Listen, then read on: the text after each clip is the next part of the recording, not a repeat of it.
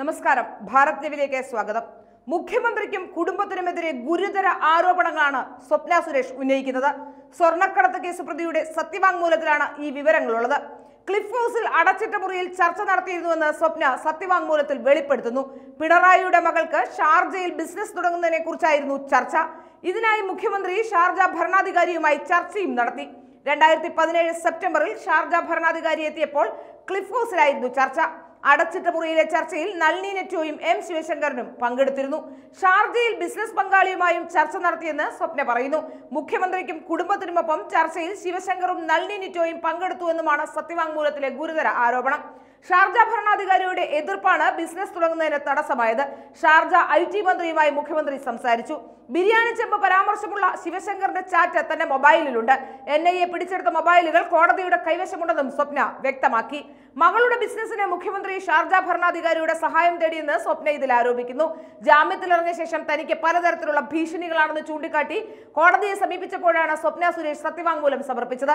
Ernakulam sessions കോടതിയിലാണ് ഈ സത്യവാങ്മൂലം സമർപ്പിച്ചിരിക്കുന്നത്. രണ്ടായിരത്തി പതിനേഴിൽ ഷാർജ ഭരണാധികാരി കേരള സന്ദർശനത്തിലൂടെ ക്ലിഫ് ഹൗസിലും എത്തുകയുണ്ടായി. മുഖ്യമന്ത്രിയുമായുള്ള കൂടിക്കാഴ്ചയ്ക്കിടെ അദ്ദേഹത്തിന്റെ കുടുംബം ഒരു ബിസിനസ് താല്പര്യം ഷാർജ ഭരണാധികാരിയെ അറിയിച്ചുവെന്ന് സ്വപ്ന സത്യവാങ്മൂലത്തിൽ വ്യക്തമാക്കുന്നുണ്ട്. മുഖ്യമന്ത്രിയുടെ മകൾ വീണ വിജയൻ ഷാർജയിൽ ഐ ടി സംരംഭം തുടങ്ങുന്നതിനുള്ള താല്പര്യമാണ് അറിയിച്ചിട്ടുള്ളത്. എന്നാൽ ഷാർജയിൽ നിന്നുള്ള എതിർപ്പുകളെ തുടർന്ന് ഈ പദ്ധതി ഉപേക്ഷിച്ചുവെന്നും പറയുന്നു. ഷാർജ ഭരണാധികാരി എത്തുമ്പോൾ വേണ്ട നടപടികളും ആശയവിനിമയവും മുഖ്യമന്ത്രിയുടെ കുടുംബത്തെ പഠിപ്പിക്കുന്നതിന് ക്ലിഫ് ഹൗസിൽ താൻ എത്തിയിരുന്നുവെന്നും സ്വപ്ന അവകാശപ്പെട്ടു. ഔദ്യോഗിക കൂടിക്കാഴ്ചയ്ക്ക് പുറമെ ഒറ്റയ്ക്കുള്ള കൂടിക്കാഴ്ചയ്ക്ക് മുഖ്യമന്ത്രിയുടെ കുടുംബം ആവശ്യപ്പെട്ടുവെന്നും അതിന് അവസരം ഒരുക്കി കൊടുത്തുവെന്നും അവർ പറയുന്നുണ്ട്. ക്ലിഫ് ഹൗസിൽ നടന്ന കൂടിക്കാഴ്ചയിൽ നളിനി നെറ്റോ എം ശിവശങ്കരൻ തുടങ്ങിയവരും ഉണ്ടായിരുന്നുവെന്നും സ്വപ്ന ആരോപിക്കുന്നു. ഏതായാലും സ്വപ്നയുടെ ആരോപണങ്ങൾക്ക് വലിയ പ്രതിരോധമാണ് മുഖ്യമന്ത്രി ഇപ്പോൾ ഉണ്ടാക്കാൻ ശ്രമിക്കുന്നത്. സ്വപ്നയുമായി ബന്ധപ്പെട്ടുള്ളവർക്കെല്ലാം എതിരെ കേസെടുക്കുക എന്നുള്ളത് തന്നെയാണ് ഇപ്പോൾ മുഖ്യമന്ത്രി സ്വീകരിച്ചിരിക്കുന്ന തന്ത്രം. സമരങ്ങളെ അടിച്ചൊതുക്കാനായി മുഖ്യമന്ത്രി ഇപ്പോൾ ചെയ്തുകൊണ്ടിരിക്കുന്നത് സി പി എമ്മിനെ രംഗത്തിറക്കിയിരിക്കുന്നു എന്നുള്ളതാണ്. സി പി എമ്മിലെ ഡിവൈഎഫ്ഐയിലെയൊക്കെ ഗുണ്ടകളെ ഉപയോഗിച്ചുകൊണ്ട് സമരം അടിച്ചൊതുക്കാൻ ഒരു ഭാഗത്തു കൂടി ശ്രമിക്കുന്നു. സ്വപ്നയുമായി ബന്ധപ്പെട്ട് നിൽക്കുന്ന അഭിഭാഷകനെ അടക്കം കേസിൽ കൊടുക്കാൻ ശ്രമിക്കുന്നു. സ്വപ്നയോട് കത്ത് പുറത്തുവിട്ടു എന്ന് പറഞ്ഞുകൊണ്ട് പി സി ജോർജുമായി കണ്ടിരുന്നു എന്ന് പറഞ്ഞുകൊണ്ട് പി സി ജോർജിനെ ഗൂഢാലോചന കേസിൽ പ്രതിയാക്കുന്നു.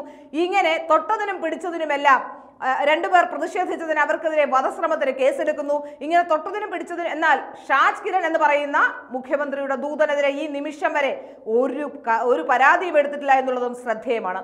അതുകൊണ്ട് തന്നെ വളരെ കൃത്യമായി മനസ്സിലാകുന്നു മുഖ്യമന്ത്രിക്ക് ഈ വിഷയത്തിൽ പേടിക്കാനുണ്ട്. അതുകൊണ്ട് തന്നെയാണ് മുഖ്യമന്ത്രി ഇത്ര വലിയ പ്രതിരോധം സൃഷ്ടിക്കുന്നത്. മാത്രമല്ല സ്വപ്ന പറഞ്ഞ ആരോപണങ്ങൾക്ക് മറുപടിയായി ഇന്ന് മുഖ്യമന്ത്രിയുടെ ഓഫീസിലെ മീഡിയ സെല്ല് ഇന്നൊരു വീഡിയോയും പുറത്തുവിട്ടിട്ടുണ്ട്.